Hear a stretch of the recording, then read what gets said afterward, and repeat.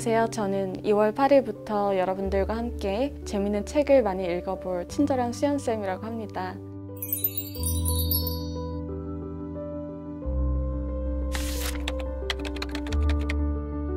아, 저는 지금 유튜브에서 써니피디아라는 북튜브 채널을 운영하고 있어요. 여기서 여러분들과 함께 이렇게 책 이야기를 많이 나눴는데 2월 8일부터는 여러분에게 도움될 만한 책들을 정말 엄선해서 아, 쉽고 재미있게 그리고 굉장히 효율적으로 책을 읽을 수 있는 방법을 알려드릴게요. 여러분들에게 도움이 될 만한 책들을 제가 소개를 해드리고 그리고 여러분들이 생각하는 힘을 기를 수 있도록 도와드리는 그런 강의가 될 거예요. 어, 사실 수험생 여러분들이 그 입시 스트레스가 많기 때문에 입시 대비라고 하면은 그것 따로 또 책 읽기는 또 다른 과제로 끝나시는 분들이 많아요. 그래서 책 읽기에 부담을 느끼고 피하는 수험생분들이 많으실 것 같은데 제가 봤을 때는 결국에 모든 입시 준비의 기본은 독해력이고 그거는 책 읽기에서 시작하거든요. 그래서 생활 속에서 자연스럽게 녹아들 수 있는 즐거운 재미있는 독서 어떻게 하면 독서를 어, 편안하고 즐겁고 재밌게 느낄 수 있을까 여기에 방점을 두고 여러분들께 다가가려고 합니다.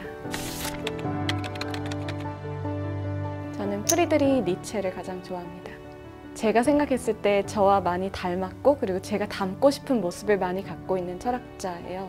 어, 일단 니체를 읽으면서 제가 가장 신선한 충격을 받았던 건 니체가 어떤 규범적인 주장을 내세우면서 위선을 떨거나 어, 가식을 보이거나 아니면 착한 척을 굳이 하려고 하지 않는 철학자라는 점이었어요. 권위와 가치와 규범 이런 것들에 대해서 계속 회의를 제기하면서 어, 거기에 도전하고 새로운 가치를 만들어내려는 그런 능동성이거든요. 저는 그런 니체의 주체성을 보면서 굉장히 어, 감화를 받았고 니체로부터 많은 가르침을 받아서 철학을 공부해오고 있습니다. 책 읽기가 굉장히 고리타분하고 따분하다고 느끼는 분들이 많을 거예요.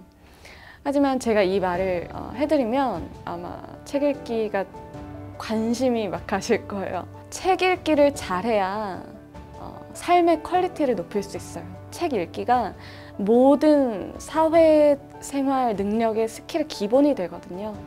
예, 책 읽기로부터 대화, 소통 능력, 글쓰기 능력, 그리고 이해하는 능력 이런 모든 것들이 파생되기 때문에 어, 책 읽기를 잘하는 것은 삶의 질을 아주 현격하게 높이는데 커다란 도움이 된다.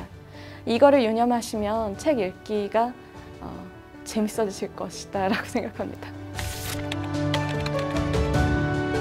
제 강의의 강점은 보다 더 멀리 내다보는 장기적으로 함께 할 수 있는 그런 강의다라는 거죠. 계속 펼쳐질 여러분들의 인생의 어, 뭔가 자양분이 될 수 있는 그런 강의다라고 자부합니다. 네, 수강생 여러분 정말 입시 스트레스 때문에 지쳐 계실 거예요. 자기 자신이 누군지도 잘 모르겠고 삶의 방향성에 혼란을 겪고 계실 거예요. 제가 그 심정을 너무나 잘 이해하기 때문에 제가 여러분들의 눈높이에서 어떻게 하면 이 험한 세상 속에서 나 자신을 지키면서 잘 살 수 있는지 그 방법을 알려드릴게요. 인류의 지혜가 녹아들어 있는 책을 읽으면서 생각하는 힘을 기르고 그리고 잘 살 수 있는 힘을 기를 수 있도록 제가 이끌어 드릴게요. 헤르만 헬스의 소설 데미안에 나오는 소년 싱클레어가 강하게 바로 설 수 있도록 이끌어주는 영혼의 지도자 데미안처럼 여러분들이 강한 주관을 갖고 올바르게 살아갈 수 있도록 이끌어주는 등대가 되겠습니다. 여러분 믿고 따라와 주세요. 감사합니다.